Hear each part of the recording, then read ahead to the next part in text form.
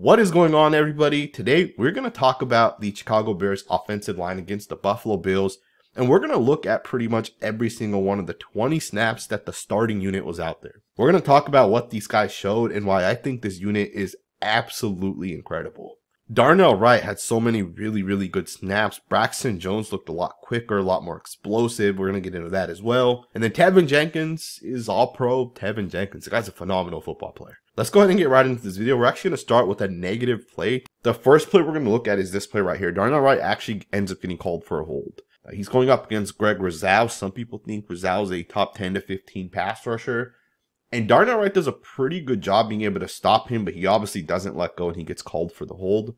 Uh, some people I saw posting and talking about this play saying it was not a hold. Uh, I'm about 50 50. I do understand how you can think this is not a hold because technically Darnell Wright does have his hands to the inside, and Rousseau is trying to pull away, but really, Darnell Wright's kind of driving him into the ground, right? He's driving him into the ground. And to me, I can definitely see how that is not necessarily a hold, but it gets called, so it's a hold however you want to look at it. I do also want to point out one other thing on this play. Look at Darnell Wright here, man, just doing those advanced things as he gets out of his set. Look at him fake the punch to Greg Rousseau. Look at him put those those hands out there. And look at the defensive end essentially react to that. I love that, man. To me, that's absolutely special right there. And uh, it's not a terrible rep. Obviously, the quarterback does try to get out of the pocket. I think if the quarterback throws this pass, you're going to write this off as a win for Darnell Wright. So it's a pretty good job right there on the other end. Uh, you're going to get a, a pancake block over here. Teven Jenkins is going to release the, the defensive tackle. He's going to get out here to Braxton Jones. And he's going to make sure number 57 feels that one. It's a pretty good job. Let's go ahead and get to the next snap. So now you got second and 17. You're going to get a draw play on this one, and the running back's going to pick up about six yards. Let's just go ahead and get into the next play, which is third and 12, because you see how much time the offensive line is going to essentially give to Caleb Williams on this one. Third and 12. You're going to pick the first down up. To me, this is a phenomenal job by the guys up front. This is exactly what you need when you have a rookie quarterback. And Caleb Williams, to me, looks like the real deal. I mean, the guy's an absolute star. You can just see it, the way he reads, the way he goes through his progressions. Williams is going to be an absolute stud. I'm very excited to kind of watch his development. And we will be covering the Bears, as you guys know, as we've always kind of covered the Bears over the past couple of seasons. But let's look at these plays a little bit. Braxton Jones over here is going to be going up against the starting defensive end of the Buffalo Bills in AJ Epenesa, and I'm probably butchering the name, but that's the starting defensive end right there. And Braxton Jones shuts it down. I mean, look at this. Straight up gets the hands to the inside and just straight up anchors down. Now, he does get the influence and the help by the running back. You're going to see the running back's going to end up chipping over here. Uh, and actually, both tackles end up getting help. Darnell Wright's also going to get help on the other side by the other player in the backfield. But again, you see both tackles end up just shutting their guys down, right? They don't lose in the snap. They do a really, really good job. On the inside, Teven Jenkins, Matt Pryor, Coleman Shelton as well. All three of those guys are going to end up doing a pretty good job. They're going to be able to handle the uh, defensive line game that's was coming. They're basically shut down. It's a pretty good job. Let's get into the next snap. So you're going to get the 42 yard screen pass here. Great job by the quarterback to be able to get the ball out without, you know, kind of looking on this one. But an even better job by the center. This play does not work without Coleman Shelton and the block that he's going to end up laying on the on the linebacker here. So keep an eye on the center. Center is going to release the, the, the defensive tackle there. And look at him turn towards the linebacker and he ends up picking the linebacker off. So it's a great job by him to be able to get there. And just like that, you're going to pick up 42 yards. Let's go ahead and get to the next snap. Alright you guys, check this next play out. You're going to get a wide zone toss towards the left here. Watch the offensive lineman on this one. This was such a beautiful job by the guys up front. Uh, you're going to pick up seven yards on this one. Watch the tackle here. Watch Darnell Wright. Darnell Wright's going to have number 94. Because this is a toss play, essentially, you want to try to get in front of him. You want to try to flip the hips. You want to try to give your, your running back the lane. And I mean, it doesn't get better than that. That's probably the best way you can block this play. I mean, it literally does not get better. And to me, this is just a great job by Darnell Wright to be able to get out of his stance. Great job to be able to get out there and flip the hips. And once that happens, the play is going to work. Uh, if the center here is able to climb up to the inside linebacker there, this is a touchdown. But the center's not able to get there. And it's not a terrible job. You know, number 43 is a good football player. He's able to kind of get over the top. But uh, just a really, really good job by Darnell Wright. Braxton Jones on this one has a reach block on number 42. He's also going to do a pretty good job being able to get in front of 42.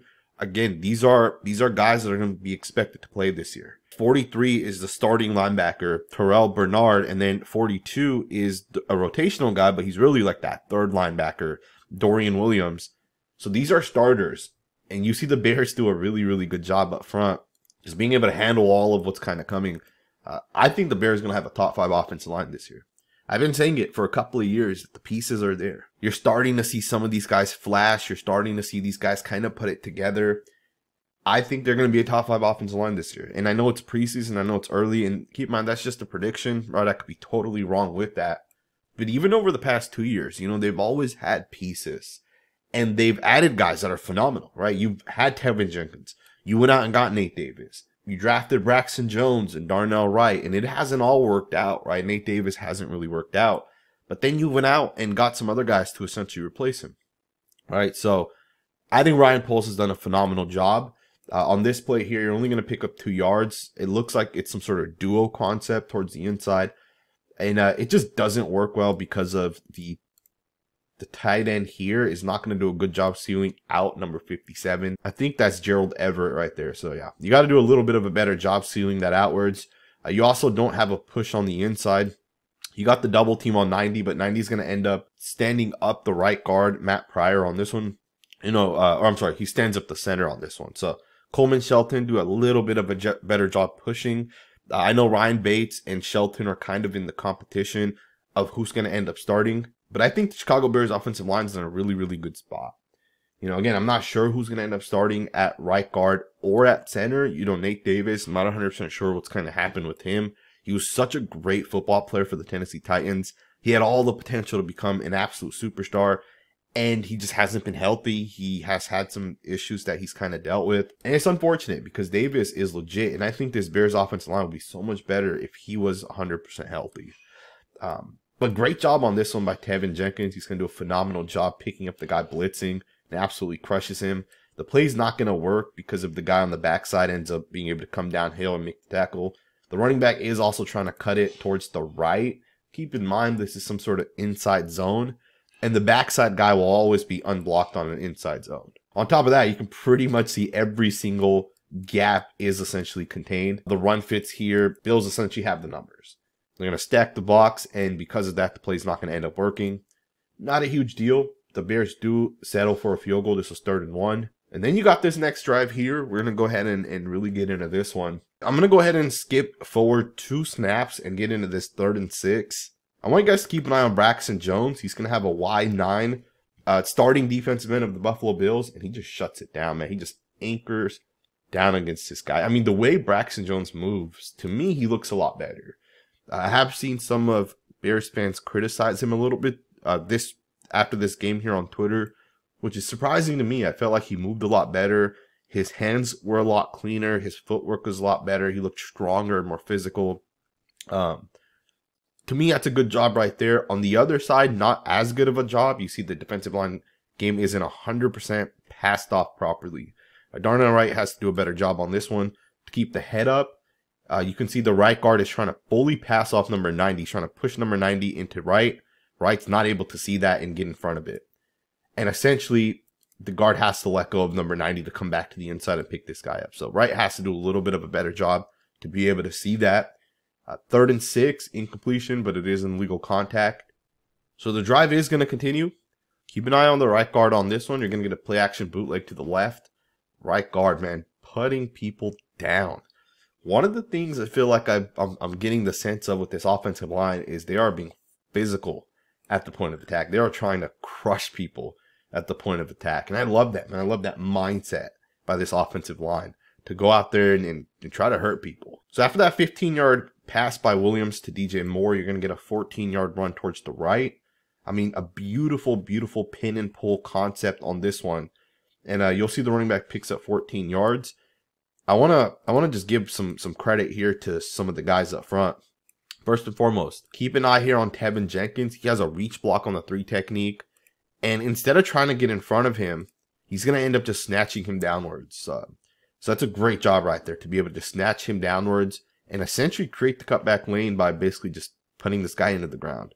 That's a really, really, really good job if you guys ask me. Uh, on top of that, if you guys keep an eye here on the right tackle, Darnell Wright, He has a very, very difficult block. He has to cut off number 42. That's the starting linebacker of the Buffalo Bills. The guy's not going to allow you to cut him off. So as Darnell Wright tries to cut him off, 42 is going to see that. He's going to start running backside.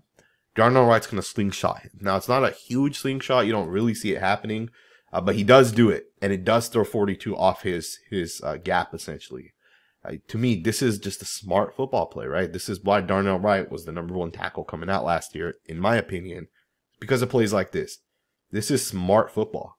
You know you're not going to be able to get in front of this guy, so you're going to just throw the angle that this guy's trying to take, and you're going to essentially push him towards the inside.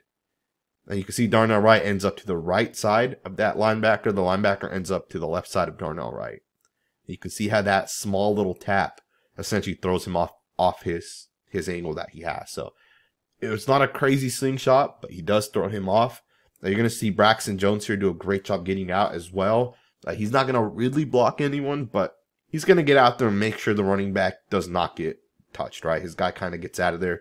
He makes sure that guy's not able to grab onto the running back. He probably wouldn't have anyways. Just a really good good design. It's a really good run as well. Um, you're going to see number 85 here, the starting tight end in Kmet. He's going to do a great job holding the block. See him make the contact with 57. He does a great job allowing 57 to go underneath it. That's exactly what you want to do on these pin pulls. You want to make guys go underneath so the running back can get over the top. So it's a great job once again. Let's get into the next snap. You're going to get a play action bootleg to the left, 26 yard pass to Cole Kmet. Beautiful job here by, by Caleb Williams. You know, I don't, I don't study quarterbacks. I can't tell you guys everything that the quarterback should or should not have done.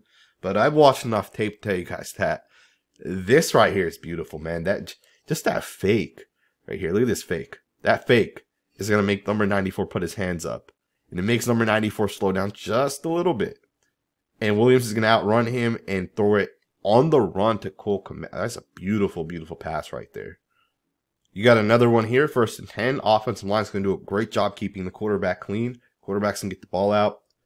Not a completion, but the offensive line, once again, is going to do a good job keeping the quarterback clean. Now, one of the things to know on these plays is you do have two tight ends in and a running back in, and all of that is going to influence the pass rush. Essentially, that's going to slow down which ways guys can and cannot go. Uh, so just kind of keep that in mind as we watch this tape. But a great job nonetheless. The right guard here, really, really good job. Got to give a lot of credit to Matt Pryor. The guy was phenomenal in this first game. The guy did everything you want.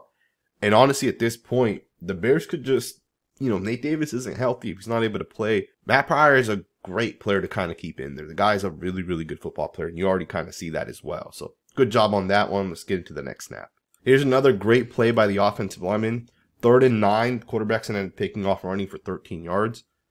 But again, just a beautiful job by the guys up front to me, you got to give credit to to these guys up front. We'll go ahead and start right here with Braxton Jones. Watch him shut down number 57, gets the hands to 57, and then he drops the anchor right there.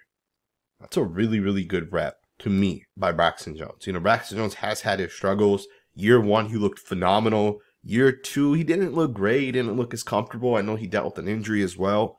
But year three, he's starting off well. So we'll, we'll keep an eye on Braxton Jones. Uh, you know, I watched every single snap of the Bears offensive line last year. I plan to do that again this year. So make sure you guys are subscribed. We're going to be covering the Bears pretty much weekly, and we'll be checking in on some of the defensive guys as well. Austin Booker obviously looks phenomenal. Uh, keep an eye on Darnell Wright here. Watch him once again put those hands up and kind of fake that he's about to punch 56. And you can see that throws 56's timing off a little bit. So it's a good job by Darnell Wright. Uh, he does end up giving the corner to 56. 56 and kind of rip. That's okay. You know, you can push these guys upfield. Now, this is what you actually want to do when guys are speed rushing. You want to just push them up the field. And that could naturally allow the quarterback to also get out of the pocket, right? Just kind of go underneath that. But on this one here, you know, 93 kind of takes the wide angle. So the quarterback's going to step up, which is exactly how this is taught. At the same time, if you guys keep an eye on the right guard, the right guard is going to once again do a really, really good job. So you're going to get a defensive line game. Keep an eye on number 90. Watch what number 90 does and keep an eye on how Pryor is going to handle that. Great job being able to push him off. Gets back to 93, picks him up. I mean, it doesn't get better than that, right? That's just arguably the, the, the best way you can essentially handle that. It's a really, really good job by the guys up front. And you're going to get 13 yards on third and nine. Let's get into the next snap. We got three plays left. Keep an eye on Teven Jenkins. Watch how he gets in front of number 93, the three technique. And look at that. It, it literally does not get better than that. You know what's crazy about Teven Jenkins doing this is people think this is normal. People literally will think that that block right there is normal. That is not normal. You have to be an all pro caliber player to be able to get in front of a three technique like this and flip your hips because people don't realize this. When number 93 is lined up to the right side of Teven Jenkins, or he's shaded into that three technique, that means his gap is essentially the B gap here. He has to stay within that when it comes to his run fit. But the fact that Teven Jenkins is able to essentially flip that against number 93, this now means number 93 did not do, do his job essentially, right? He lost this rep. And that's an absolutely incredible block right there. The play doesn't work. It only picks up about a yard. Uh, it is a hard play for some of these guys, you know, uh, the center here has to get to the right side of 42. 42 is already shaded that way. Same thing with 54. He's already shaded to the right. Darnell Wright's going to have a hard time getting to the right side of 54 as well. That's a hard block for the tackle and center. You can see both guys end up not essentially getting in front of these two guys. Keep in mind, those are starting linebackers. Starting linebackers is a little bit harder to reach on than, than backup guys. Play only picks up about two yards. And you got two plays left. You're going to get the second and nine play, play action. Quarterback's going to try to hit DJ Moore, and uh, he isn't able to bring the pass in. But I do like what a lot of what Shane Waldron kind of showed on the offensive side. Right, there's a lot of bootlegs. There's a lot of wide zone. They ran some duo early on as well. Uh, there's so much that Waldron has in his playbook, and Waldron's a really good coach. I think people are sleeping on Shane Waldron a little bit. He did a great job last year with Geno Smith, and I think so far, based off the 20 snaps that these guys did play, I felt like he did a really good job with this play calling. Uh, and this play was the play that really stood out to me right here. This was the final play, 39. Look at the offensive lineman, man. Look at the time that the quarterback has. I mean, this is, I mean, this is incredible. It, you know, you don't get this type of time unless you have a good offensive line. And I, I truly think the Chicago Bears have a great offensive line. So keep an eye on Darnell Wright here going up against the defensive end on this one great job just being able to pass it off. The guard keeps his head up. You got a veteran guard there, right? He's going to be able to see those things. So it's a really, really good job between those guys to be able to pick it up, pass it off, and then essentially shut both of those guys down. And then on the other side, center to left tackle, you're going to basically get a three on two. I'm pretty sure these guys try to run this game as well. And uh, essentially it doesn't work. So it's a good job by those guys as well. Quarterback ends up it's kind of throwing it away. Overall, I felt like the offensive line had a really, really good day. I think Braxton Jones and Darnell Wright both looked the part. And we'll see what ends up happening as we kind of continue over the course of this season. Let me know what you guys think in the comments below. Thumbs up, subscribe, and I will see you guys next time with another video.